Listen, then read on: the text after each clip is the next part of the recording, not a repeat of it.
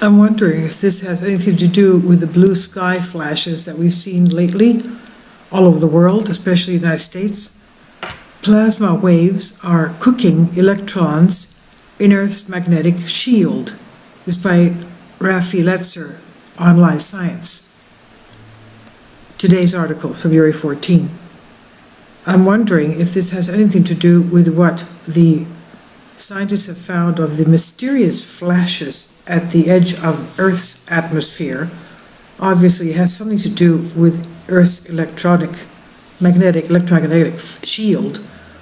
Uh, so perhaps this is what we're seeing now, lately, but uh, it seems to be on the increase. So what is this exactly? Plasma waves. Space is warm, or at least warmer than it should be, they say. All across the universe, including in our own solar system, astronomers have found that the near, nearly empty spaces between the stars and galaxies and other matter contain more heat than existing knowledge can fully explain. So, why is that?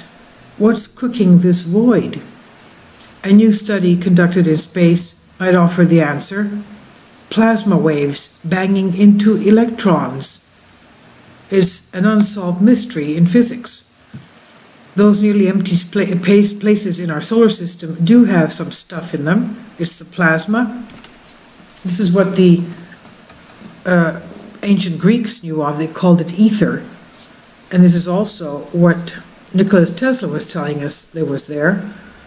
And that we could use the electricity in this plasma that fills up the whole void of the universe to get from one end of the universe to the other using free electricity in, that's found in the plasma.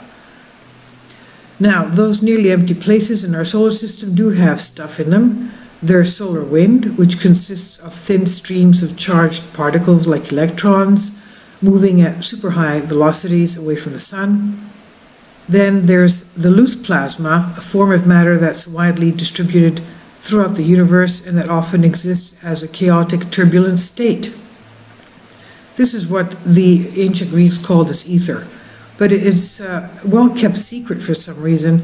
We have not been taught this in school, even though the ancient Greeks knew of it.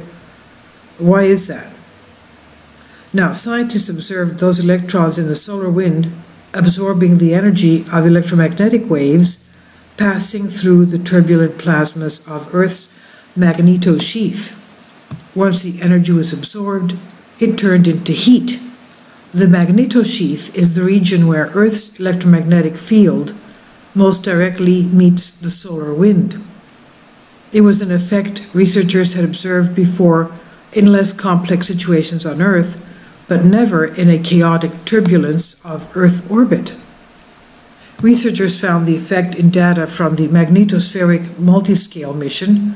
That project includes four robotic spacecraft orbiting the Earth and measuring how our planet's electromagnetic field interacts with the Sun. In data from that extreme environment, researchers were able to tease out how energy in electromagnetic waves passes through the plasma turned into heat in the electrons. It was an effect never before seen in this sort of chaotic natural setting. For the effect to work, the electrons and waves had to be moving in similar speeds.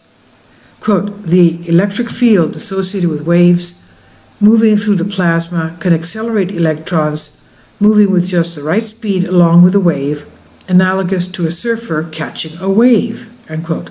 Co-researcher Greg Howes of the University of Iowa said in a statement, adding energy to the electrons causes them to heat up.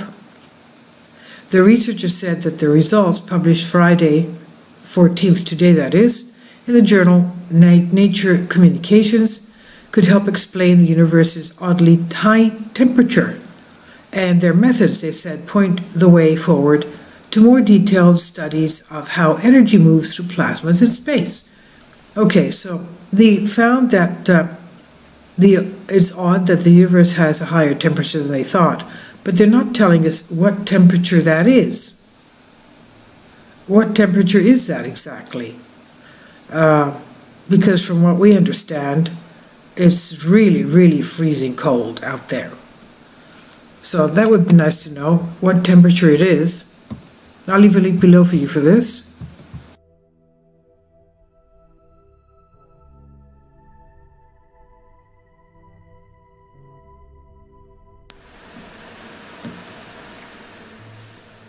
If you'd like to join me on my Patreon account, you will hear content not covered by mainstream media.